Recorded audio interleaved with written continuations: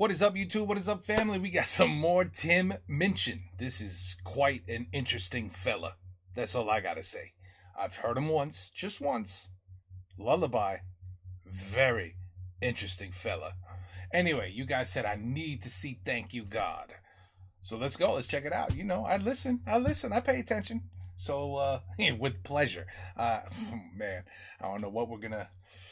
Let's just see, because some of you said he can go on that same path as Lullaby, and his newest stuff is like serious but beautiful music. So, we'll we'll see which one this is.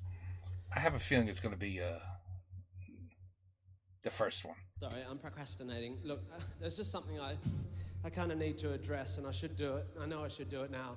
Um, that, I, I, I, over the years, I've realized that um, so a, lo- a, lot of my audience has come to my shows, uh, particularly because of a, uh, um, uh, sometimes because I quite often sing about beliefs. Um, specifically, in the past, I've sung a lot about uh, faith and religion, and uh, if I'm completely honest with you, I've um, tended to mock, mock uh, some of the, not in general, but some of the more the perceived hypocrisies. Uh, but I just don't want anyone to be waiting for that because I'm not doing it anymore. Um, well, well I know, I know it's. Look, I should. Uh, you des- you, have earned an explanation. You're right. Um, it's something, something happened to me. You see, uh, when I was touring my last show in Australia, it was the beginning, beginning of last year, and um, I was doing a gig. Not not one of my gigs. It was a, a sort of. It was actually a new material night, uh, hosted by the uh, Ross Noble. You know, the the long-haired, mentally ill northerner. And um, mentally ill northerner. Northerner. He's a genius um, which is a mentally ill person with an audience. Um, he's beautiful. He's the, the you know, I love this guy. And, and he, he, does this amazing gig, and we were having a drink afterwards, and it was a really nice vibe in the bar. But I noticed this dude who slightly uncomfortably was hovering sort of uh, on the periphery of our group. And I noticed in particular, this tall, really handsome guy had those nice dreadlocks that you can get for about 600 quid at the hairdresser. And he had a shirt open to about here and it's very tanned. But I noticed him particularly because he had a, a, a, a, long silver chain. With and cross. on the end of the chain, a quite prominent silver cross. You know, the sort of cross you might wear if you're a fan of intersections.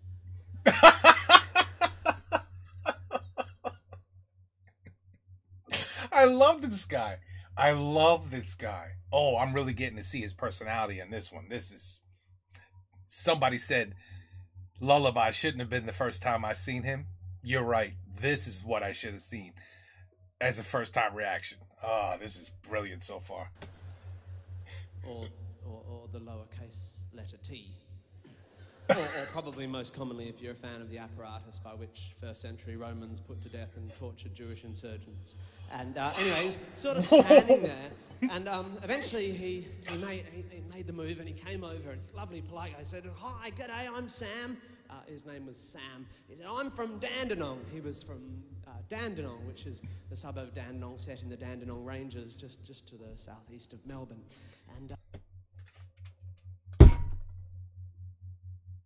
What?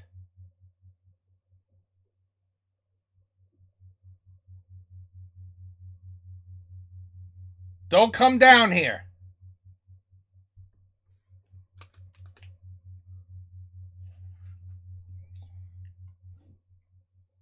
The suburb of Dandenong, set in the Dandenong Ranges, just, just to the southeast of Melbourne. And uh, we got talking, but I could tell he wanted to talk to me, and eventually he managed to kind of, you know, isolate me from the pack. And he said, Tim, I've always wanted to talk to you because I'm, I'm a fan of your work, and I don't want you to think I'm offended or anything, but uh, as you might have noticed, I'm a Christian. Christian. Uh, and he said, I've just, I've always wanted to ask you why.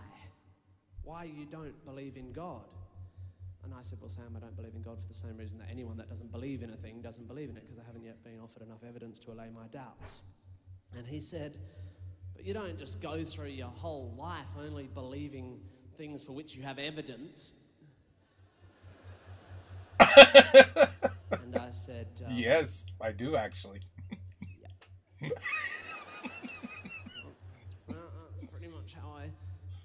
that's pretty much how I stutter my way through my turgid existence. And he said, What about love? And I said, What, what about love, Sam? And he said, Do you believe in love? And I said, Yeah, I, I, I believe in love, I think. I am, Can you see love? He's gonna I say. am loved. Sure. And he said, Aha!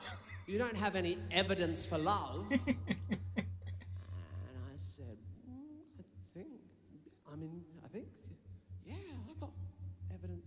Sure. I mean, love without evidence is stalking. Oh my God. This guy's good. This guy's good. Very smart. And he said, Well, Tim, if it's evidence you want, how about this? And he told me this story, this incredible story about his mum. You see, Sam and his mother were members of a big evangelical church congregation in the Dandenongs, you know, one of those new glassy type ones. And um, in, in her early 60s, Sam's mum had um, gone to the doctor with a problem with her eye, and he had diagnosed an irreversible um, degenerative eye disorder. And he told her that if she didn't get surgery very quickly, that she would lose her eyesight. And Sam's mum was afraid. She didn't believe in modern medicine. She didn't trust doctors. She, she, was, she was afraid of hospitals and the idea of surgery. But Sam and his mum went to this, this church, this incredible church. And that Sunday, the entire congregation of their church, some 1,700 people, prayed at the same time for Sam's mum. And the following Tuesday, they went back to the doctor, and there was no sign that there'd ever been anything wrong with her eyes. She was healed, she was cured. And the reason this story had an impact on me is because I try, I try to be intellectually honest with others and with myself, and all I've ever asked for is evidence. And here I was witnessing a first person account of what can only be described as a miracle. So I went home I wrote this song. I can only imagine. My God. I have an apology to make. I'm afraid I've made a big mistake. I turned my face away from you, Lord. I was too blind to see the light. I was too meek to feel your might. I closed my eyes, I couldn't see the truth, Lord. But then, like Saul on the Damascus Road, you sent a messenger to me, and so now I've had the truth revealed to me. Please forgive me all those things I said. I'll no longer betray you, Lord. I will pray to you instead, and I will say thank you, thank you, you, God. Thank you, thank you, thank you, God. Thank you, God. Thank you, God, for fixing the cataracts of Sam's mum. I had no idea, but it's suddenly so clear. Now I feel such a cynic. How could I have been so dumb? Thank you for displaying how praying works. A particular prayer in a particular church. Thank you, Sam, for the chance to acknowledge this omnipotent ophthalmologist. Thank you, God, for fixing the cataracts of Sam's mum. I didn't realize that it was so simple, but you've shown a great example of just how it can be done. You only need to pray in a particular spot to a particular version of a particular God. And if you pull that off without a hitch, he will fix one eye of one middle class white bitch. I know in the past my outlook has been limited. I couldn't see examples of where life had been definitive, but I can admit it when the evidence is clear, as clear as Sam's mom's new cornea. Thank you, God, for fixing the cataracts of Sam's mum. To admit that in the past I have been skeptical, but Sam described this miracle and I am overcome. How fitting that the sighting of a sight based intervention should open my eyes to this exciting new dimension. It's like someone put an eye chart up in front of me and the top five letters say I C G O D. Thank you, Sam, for showing how my point of view has been so flawed. Assumed there was no God at all, but now I see that cynical. It's simply that his interests aren't particularly broad. He's largely undiverted by the starving masses, or the inequality between the various classes. He gives out strictly limited passes, redeemable for for surgery or two for one glasses. I feel so shocking for historically mocking you. Your interests are In other words, in other words, yeah, you know, okay, I'll answer that prayer. Uh, but the entire other world, you know, the whole world going to shit, basically. That's not my problem. you, you humans figure that out on your own. But okay, yeah, you know, you got a bad eye. I'll hook you up with it. Just pray. I got you. I, will fix your eye. But forget all the other issues. I'm, I don't care about that. That's basically what he just said. this guy, this guy is so good. I feel so shocking for historically mocking you. Your interests are clearly confined to the ocular. I bet given the chance, you'd eschew the divine and start a little business selling contacts online.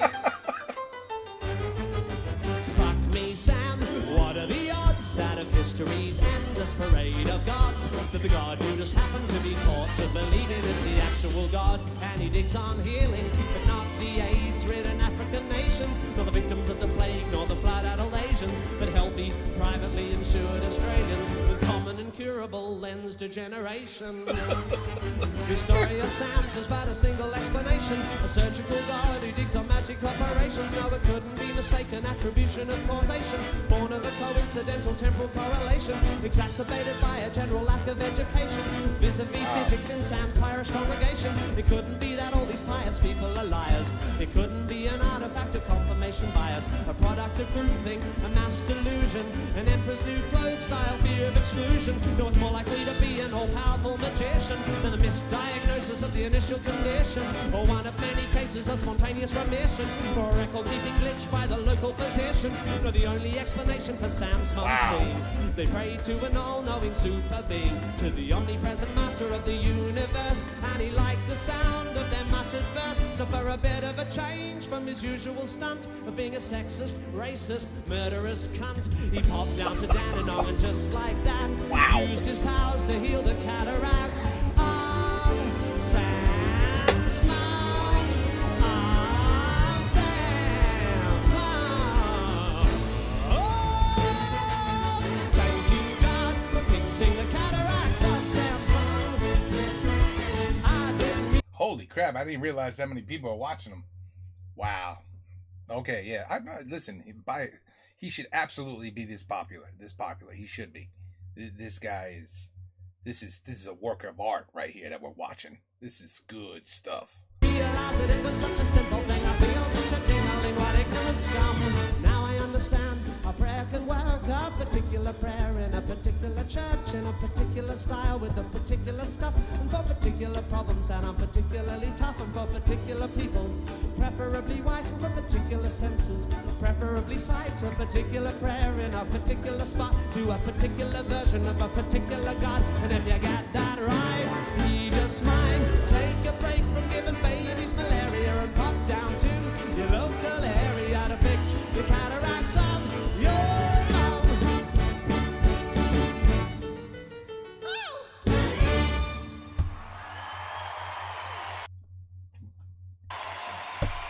Brilliant. Brilliant. And so true. not one thing, not one thing was false. Not one.